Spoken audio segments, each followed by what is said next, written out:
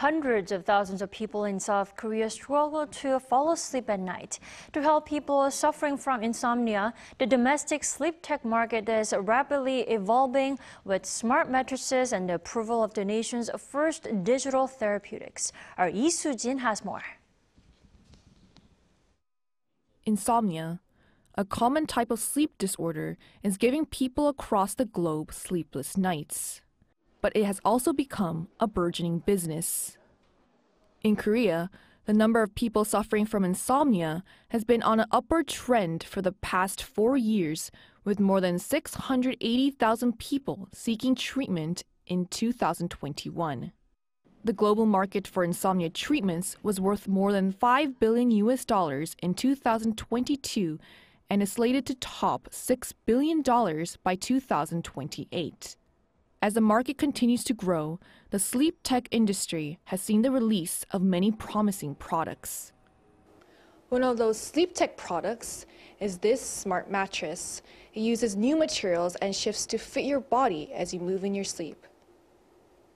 One domestic home appliance company jumped into the sleep tech industry with the release of smart mattresses late last year. We have replaced the springs in our mattresses with the more advanced sleep cell technology. With sleep cell technology, the hardness of the mattress can be adjusted to the user.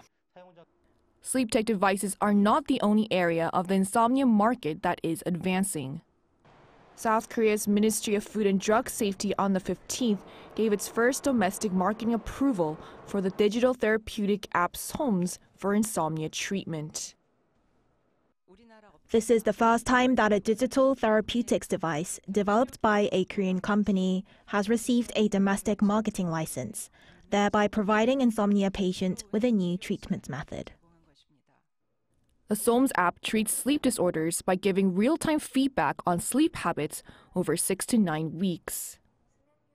Patients fill out sleep journals every day. The sleep efficiency index is then calculated based on these entries. The journal entries also help patients keep track of how they slept at night. This helps patients take the first step in curing insomnia, realizing what their sleeping habits are and how much their sleeping disorder has progressed.